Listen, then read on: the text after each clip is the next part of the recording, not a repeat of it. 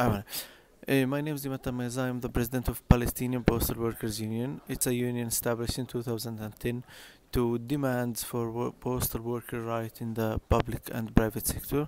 We are around 700 members uh, on my organization. We try to organize more and more workers to be strong and uh, to fight uh, the policies against the workers and labor uh, movement in Palestine. We're also uh, taking part in uh, uh, BDS campaign to support our Palestinian issue and to save our rights in our land. Thank you.